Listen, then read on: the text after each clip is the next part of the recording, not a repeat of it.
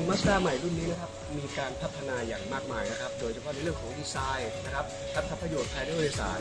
รวมถึงในเรื่องของระบบช่วงล่างเครื่องยนต์มีการเซตอัพใหม่อย่างมากมาย มีอะไรน่าสนใจเดี๋ยวเราไปดูในรายละเอียดก่อนที่เราจะไปทดสอบนะครับ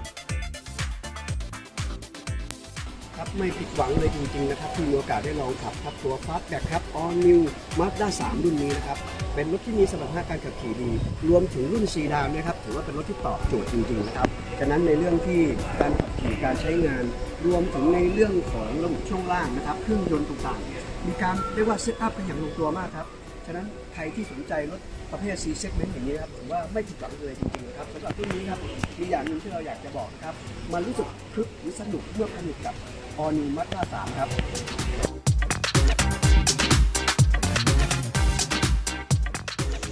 ครับไม่ผิดหวังจริงๆครับ จากที่เราทดสอบนะครับ เส้นทางภูเก็ตไปพังงาครับขับรอบๆ มีเส้นทางหลากหลายครับไม่ว่าทางตรงทางเขาทางอะไรแต่แต่มีเยอะมาครับ ก็ทำให้เราได้สัมผัสตัวมาด้า3อย่างเต็มที่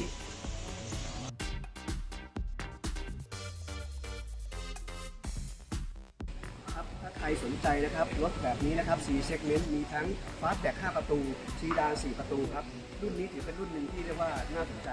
ไปลองชมนะครับ ไปสัมผัสไปลองขับกันได้นะครับ ที่ตัวมีมาสด้าทั่วประเทศไทยครับ